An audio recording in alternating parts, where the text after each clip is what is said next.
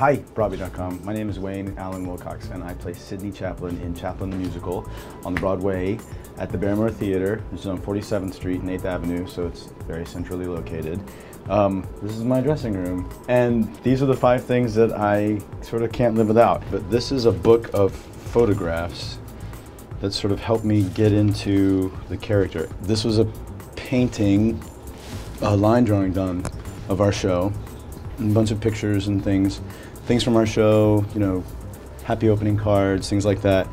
So can't really live without that. I had a dresser. His name is Julian Havard, and he makes these paintings.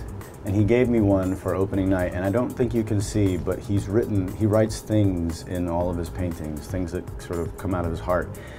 And this one says, and what you give is what I love. I am known for going around and telling everybody uh, backstage before a show to rock on, reggae woman, and have your amazing show.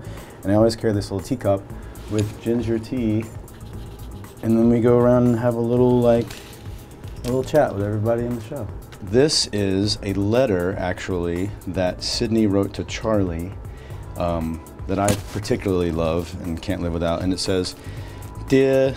Dear Charlie, since mother's illness, we all we have is each other, so you must write regularly and let me know that I have a brother. And he does, and it's me.